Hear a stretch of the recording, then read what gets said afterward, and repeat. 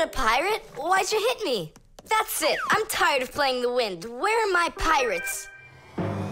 This looks great. Can I board your ship? And what are your skills? Tons, like protecting the ship and yelling hooray when we win. And how about good sea knots? Can you tie them? of course I can tie them. Then tie up our treasure. And make sure it's good and tight. Pirates, prepare to attack!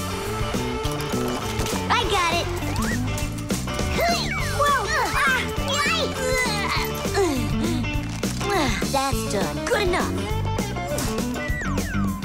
Hooray! It's good and tight. Now can you survive a storm? Without a doubt.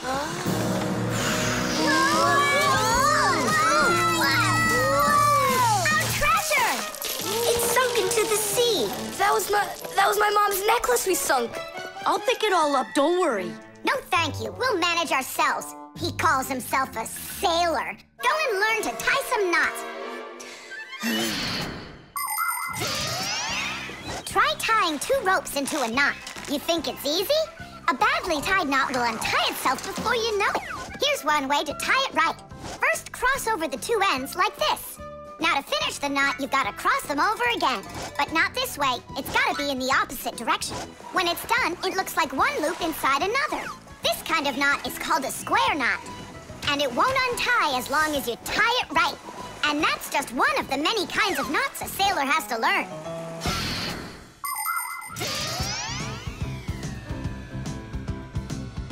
Oh. Okay.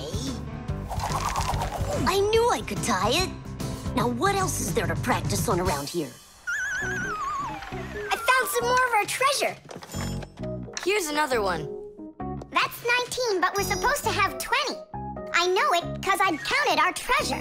So what happened to the last one? Well done there. So what else could I tie? Perfect. I even remember what it looks like. It's a different color. It's a bright red one. Oh, Mom's gonna notice right away that the red one's gone. I gotta go find it. Ah. Yeah, I think it's on the floor. Who tied my laces together? I was just practicing, sorry. And what else did you tie up to practice your knots? Um, not sure you want to know. You're funny. Let's go untie them.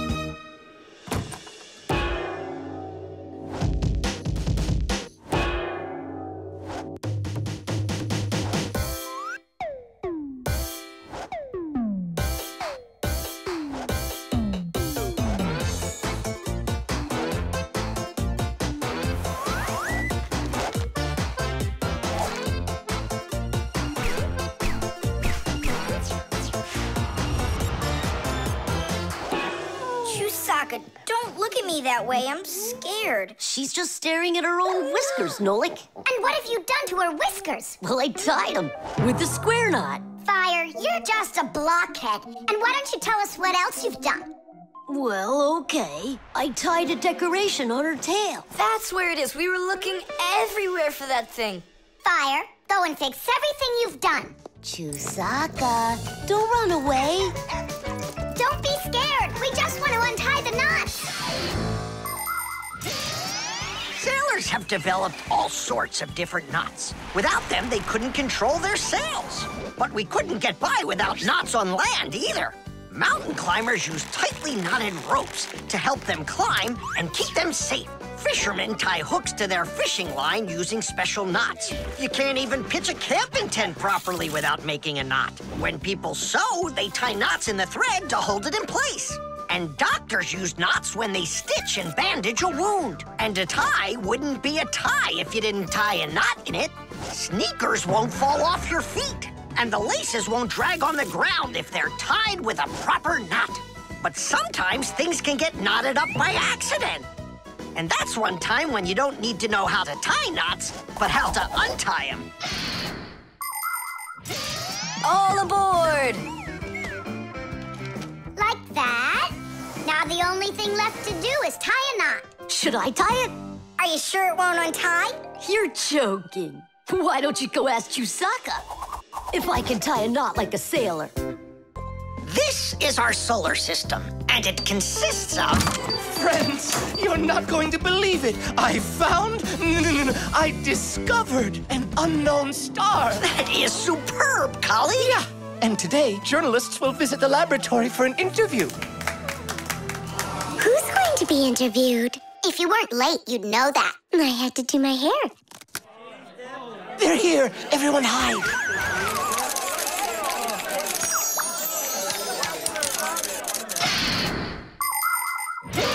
There are lots of galaxies in the universe with billions of hot glowing spheres that everybody knows as stars. Stars are each born out of huge clouds of gas and dust that are called nebulas.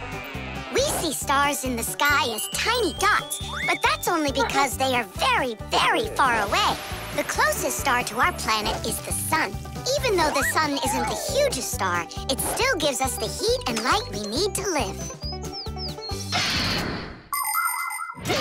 Professor Eugenius is a celebrity now, on a global scale. Yeah. Hey, did you see? Verda also got on the cover. No joke. Where? and I think we look pretty good together. So, who wants my autograph? we'll have to wait till after school. Uh, it's time to go. Hey, aren't you going?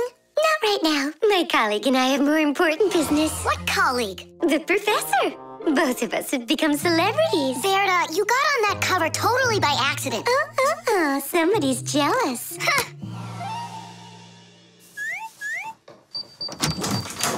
We've got our new star. now, what should I name it? Uh, colleague, Huh? why don't you name the new star Verda? After all, it does sound pretty. Verda, Verda. Hmm. Like a vertex whirling around. That's a great idea. It's a shame you didn't get my autograph, because that new star now has my name, Verda. And now an elaborate celebration needs to be thrown in my honor. I mean, mine and the professor's, of course. What celebration you talking about? With a red carpet and flowers. Why are you just standing there? Make it happen. The poor girl thinks she's a star. Absolutely. So what can we do about it? With lunatics, it's better not to argue. That's what I read. Then let's play your silly game.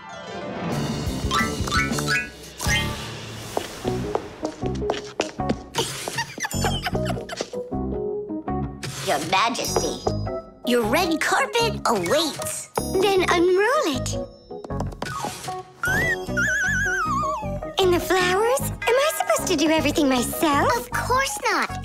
Here, Your Highness, your crown. Oh, right, now we're talking. I am a star. She's totally lost it. Mm-hmm. He's coming. Finally, finally, my dream is reality. Hey! Ah, my little fixie friends, it's you here. I'm so honored you gathered here to congratulate me today. Us? Yes, us, them, we, we all should celebrate. No, I mean you and I. now show us what you're carrying. Uh, of course, the certificate. It says this star, discovered by Professor Eugenius, has been registered with the name VE 03732. What? Oh, that's what we should start calling our big star from now on. Uh, what's so funny? A clear night is perfect for searching in the sky for constellations. The easiest one to find is the Great Bear or the Big Dipper, which looks like a soup ladle. If you draw a line through the two outside stars of the Big Dipper, you'll find the bright North Star, which is part of a constellation called the Little Bear or the Little Dipper. A bit further is the W-shaped Cassiopeia. And these three stars that are next to each other are well known as the Belt of Orion. If you draw a line through them, you'll find a star named Sirius. It's part of the Greater Dog constellation, and it's the brightest star in the night sky. And on the other side of it, there is the star Aldebaran of the constellation Taurus. And these are but a few of the most visible stars. It's not even possible to imagine how many stars there really are in the universe. Tula? I'm here. Fire. Here. VE 73032? Is that someone new? Yeah, we've got a new student. She's a star. A new giant star.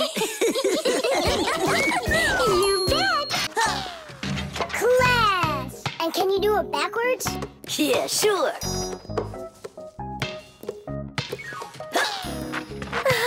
No way! What a shot! Huh. I wish Simka could see this. Why don't we make a movie for Simka about fire? We can use my Fixie tub. It's got a camera. How come it's only for Simka? We'll make it for all of us. That's a great idea. I'll shoot the ball at the basket, and Nolik will do the filming. And what do we do? You can be whatever you want, like cheerleaders or the coaches. Yeah, a cheerleader. Count me in. Motion pictures, or movies, appeared more than 100 years ago after the invention of celluloid film. A movie is made up of a series of still photographs called frames. When you look at the frames quickly, one after another, the picture on the screen appears to move. It's hard to believe, but the first viewers got very scared when they saw a moving train on the screen. At first, films were silent. Only later did people learn to make them with sound. And soon after that, people learned to make movies in full, beautiful color. Movies aren't shot on film anymore. They're made with digital cameras. Today, almost all phones and tablets come with digital cameras inside of them. This makes it easy for just about anybody to make their own movie and share it with their friends. Fire is the best. Ooh, he can shoot the best. Hey, I haven't turned the camera on yet. Get ready. Here we go. Yep. I got it. Show me. Fire is the best. And where's the ball? It flew over there. That's not right. You have to see the ball flying in the picture. I got it. Get ready. Fire is the best. How was that? It worked. I got it. Fire is the best. And where am I? You're somewhere over there. And we aren't there. Why did you have us cheering? Nolik, you need to make sure we're all in the shot. Okay, I'll try.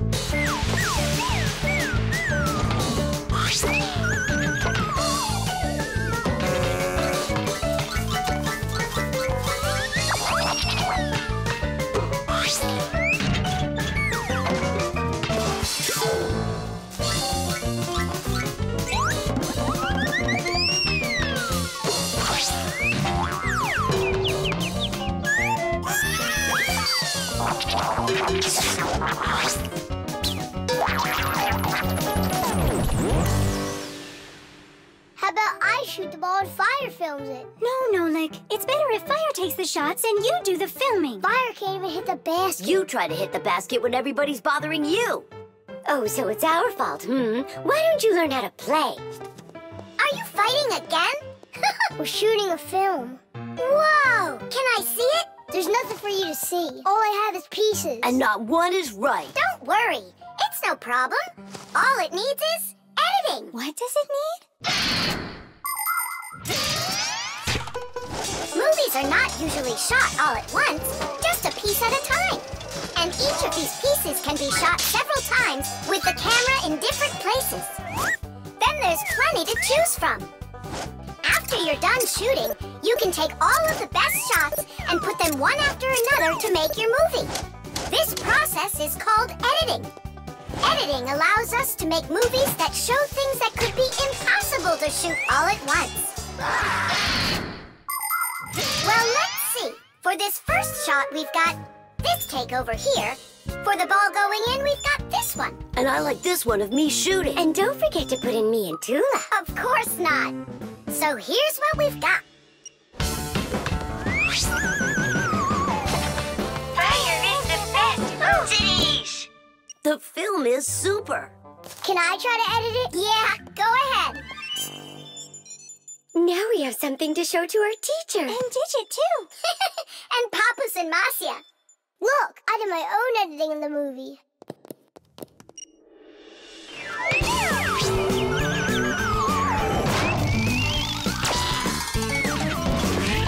What was that? That's not true. It is so. With editing, it's just not fair, Nolik. Fire Fire was able to put it in a hundred times without any editing. You sure didn't. Hey, guys, don't fight. Do you want me to teach you all the right way to shoot hoops? Yeah! All right, here we go. And shoot! Fire is the best! Oh, he can shoot the best! I can't believe the new thermometer isn't working. Tom Thomas, stay in bed. And I'll try and look for that old mercury thermometer. Did you get sick? That's one way of saying it. I don't know how I'm gonna pass that math test today. You're not ready, so you don't want to go to school. Well, yeah. So if you pull a sickie, then you can trick your mom. No, that's not true. I'm just pretending a little bit. You think so? Well, you won't trick the thermometer. Simka, what's a mercury thermometer? Mercury is a type of liquid metal that's silver in color. There's no mercury inside of new thermometers. Now they're electronic. Old thermometers were made with a glass tube with markings and a bit of mercury inside them. When the end of the tube warms up, the mercury inside of it expands and creeps up the tube. And that's how those old thermometers measure temperature. The longer the column of mercury, the higher the person's temperature is. That means I need to warm up the end of the thermometer. Tom Thomas, you're a genius. But how will you warm it up? Finally, I found it. Well, let's see. Mom, can I eat something? Hang in there, sweetie. I'll make you something.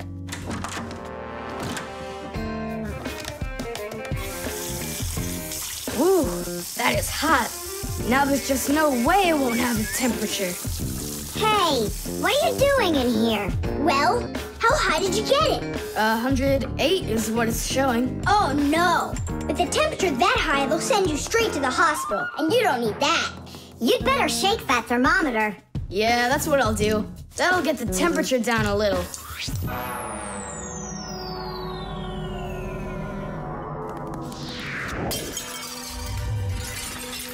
Ah!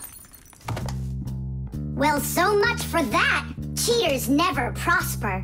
Tom Thomas, did you see this? Nola, don't touch the mercury. It's poisonous. Stop it right now. And you, Tom Thomas, you don't touch that mercury either. It's dangerous. Then how can we throw it out? Call your mom and she can help you. I can't. How could I call her? Then she'd find out that I wanted to trick her. Maybe it's better to tell the truth. I can't. I can't do it. All right then, it looks like there's no other choice. Nolik, call Papus and Masya. I'll get him. And you go back to your room and wait.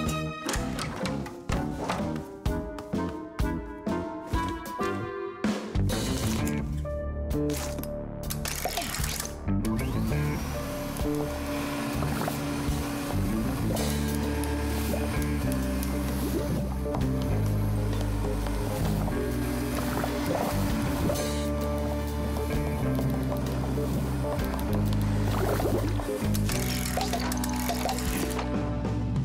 this whole job is done.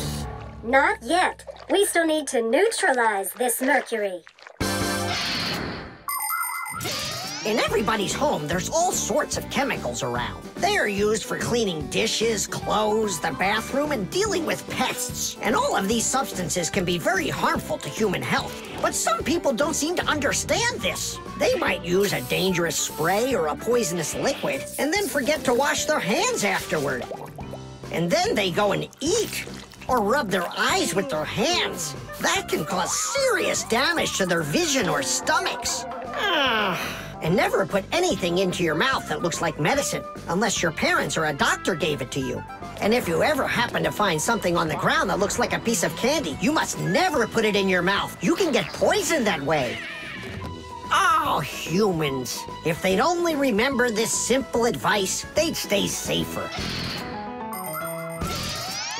And what do we do with the glass that's broken? That job's not for fixies. Hmm.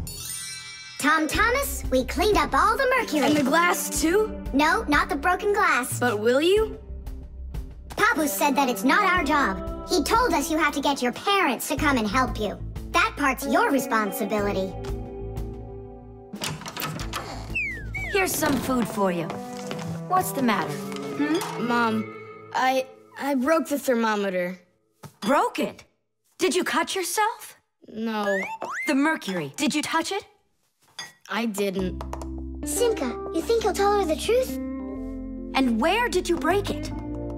The bathroom. Why did you go in there? I wanted... I wanted to trick you. I have a test, and I didn't study for it. And now it's too late for school, hmm?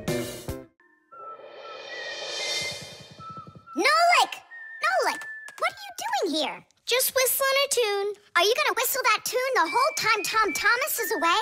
He just left with his parents for a week, and we've got guests coming, remember?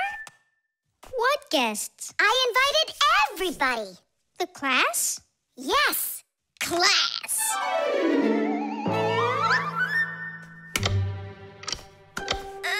Uh, are they sleeping in there what, huh? First they invite us, and now they don't want to let us in? I'll share the present with you then. uh, fire. Maybe you'll get it to work now.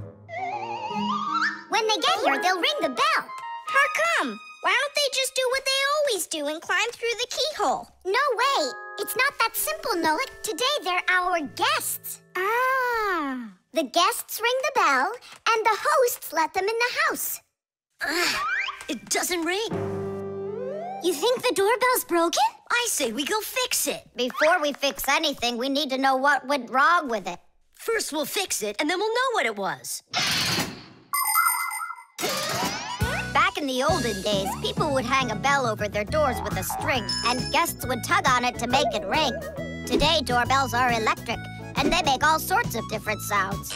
Some buzz, some ring, and some even chirp like birds. The sound comes from a box inside the house called a chime. To make the chime ring, you push a button that's located outside.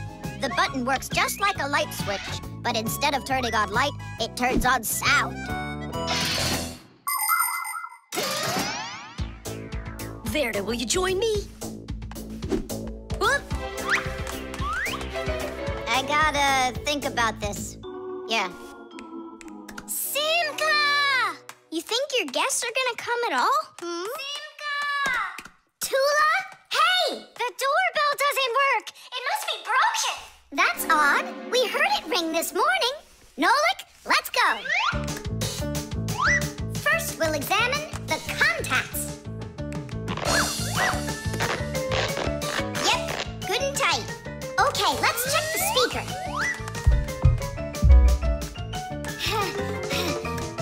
The speaker's fine. Maybe the electronics are the problem. And what if we disconnect these wires and switch them? What'll that do? We'll know soon enough.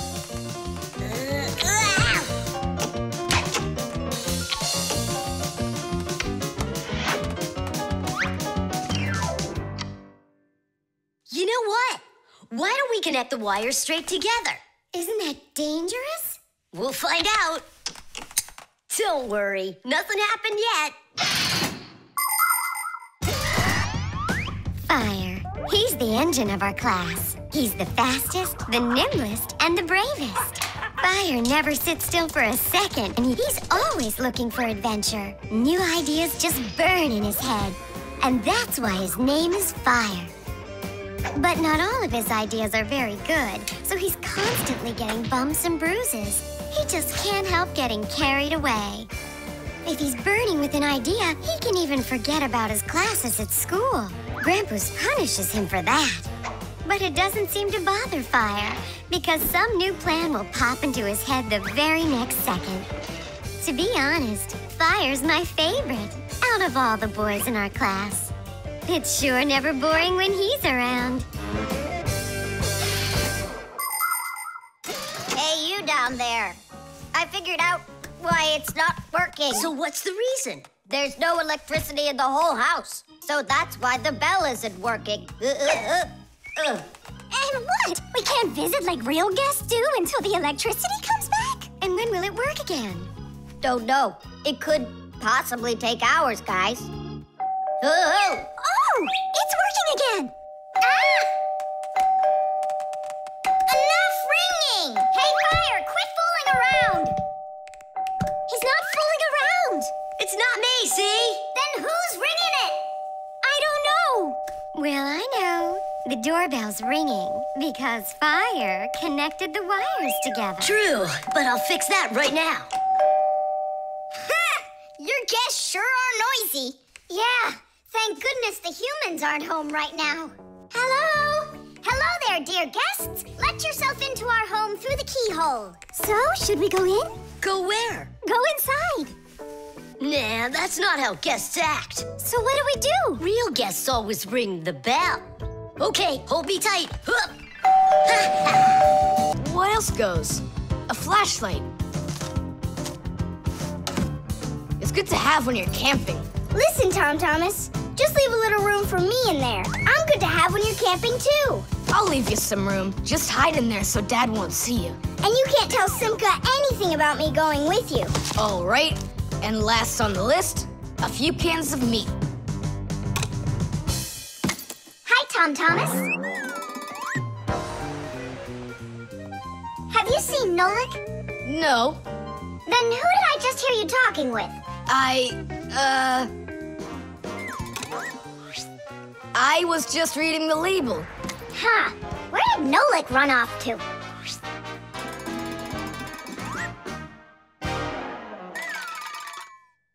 Simka, do you know, um, how come these cans have no way to open them so you can taste what's inside? What do you mean? Don't you know what makes canned food special? It comes in a can.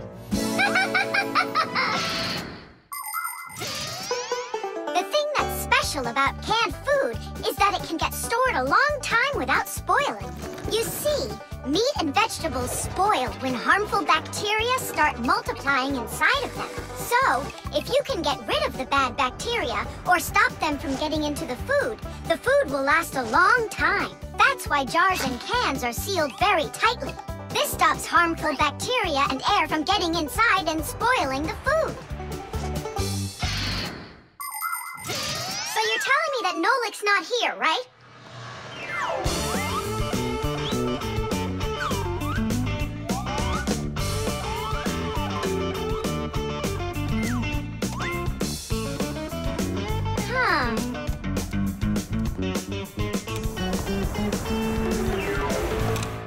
So it looks like he's really not here. Who is that? Where? All right, now I remember. There's another can I should take with me. There's something fishy happening here. Hey guys, my mom threw this can out a long time ago, but I hid it for later. I knew I'd use it someday. And who were you talking to when you said guys? Moi? Uh, you're here and I'm here, and that's two of us. Look at this great can I got. There's nothing great about it. Put it down on the floor. You see? What? Oh, it's crooked, and so what? So what? It's all swollen. And when it's like that, you know that inside the can, bad bacteria is growing and spoiling the food that's in there. It went bad? There's a way to check. On every single can, you can find the date it's good until. Sooner or later, even canned food will go bad. And of course, dairy foods like yogurt or milk can spoil in just a few days. When you buy food in the store, it's very important to always check the expiration date. The expiration date's the last day that it's safe to eat that food without worrying that it may have gone bad. You can find the expiration date on each box, jar, or can of food, so pay attention. And be very careful not to buy or eat any food after its expiration date has passed. And if you see that a can is swollen, throw it away immediately. If you eat it, your belly can swell up too. Unfortunately, when food spoils, it's impossible to unspoil it, and then even the fixies won't be able to help. Oh, my mom probably saw that this can went bad over a year ago. That's why she threw it into the trash. Right, shame on you for picking it out of there. You could have poisoned yourself and poisoned your dad as well. Yeah. And the other cans, are they swollen too? They're fine. Goodbye then. It's a shame I couldn't find Nolik around here. Papus wants to give him a brand new Pack-O-Mat as a present. To me? Aha! I gotcha! I had a feeling you would try to sneak away in Tom Thomas's bag. You lied! That's not fair! And hiding, that's fair, right? Tom Thomas, are you ready? I'm ready. Great, then let's get going. Hooray! We're going camping. I wanted to go camping too. Don't worry, I'll go camping with you. Really? Really, really, really. To that house outside our window. See how huge it is?